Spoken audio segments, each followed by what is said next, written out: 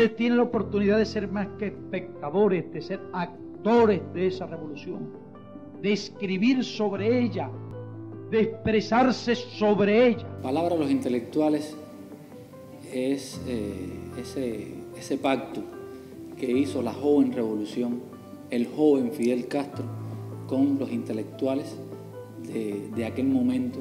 Rebasa, por supuesto, lo que tiene que ver con el arte, la literatura. Ahí hay también hay un proyecto de país.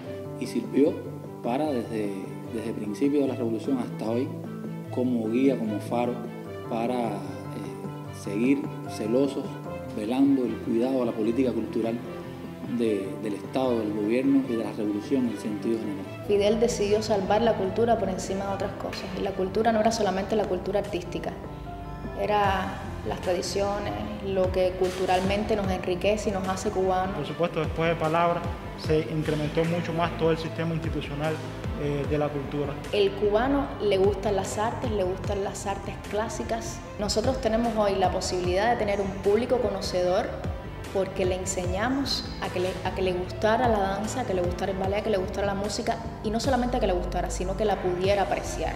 Existen los principios y los valores éticos, morales, y eso yo creo que es algo que no debe perder nuestra música, que no deben perder nuestros creadores musicales.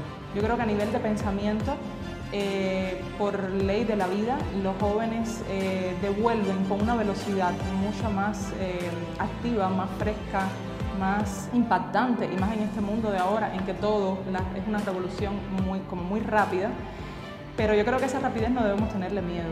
Yo creo que eh, hay que sentarse y dialogar, escuchar, abrirnos. No renunciemos nunca al arte, a la cultura y a la poesía más allá de los versos. No renunciemos nunca a la belleza que sigue palpitando en palabras intelectuales y sobre todo en la mejor manera que podemos nosotros ayudar a la cultura y a la nación toda. Debemos volver a palabras, debemos volver a Fidel. Y siento que es lo mismo que volver a, nuestras esencias. Y no nos apresuremos en juzgar la obra nuestra, que ya tendremos jueces de sobra. Y lo que hay que temerle no es ese supuesto juez autoritario, verdugo de la cultura imaginario que hemos elaborado aquí. Teman a otros jueces, muchos más temidos.